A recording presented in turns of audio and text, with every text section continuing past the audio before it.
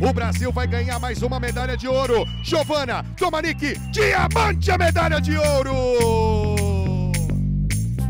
Cada dia que ia passando eu ia pensando uma por uma.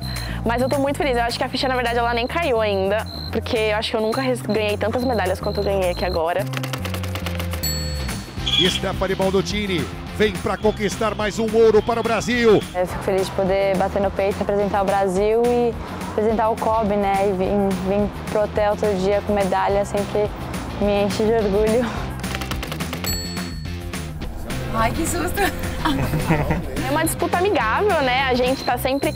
É, eu tô dividindo tudo com a Teté, a gente nada os revezamentos juntos, a gente tá sempre nas seleções juntos, então é muito bom poder dividir isso com ela. Fico feliz pela Gigi, que ela também competiu muito também. A gente se entende, sabe quão cansada estamos, mas fica feliz um pela outra, com certeza. Acredito que eu tenha puxado ela, ela tenha me puxado pra gente conquistar cada vez mais medalhas, então é uma disputa saudável, eu acho que é assim que a gente faz o esporte crescer.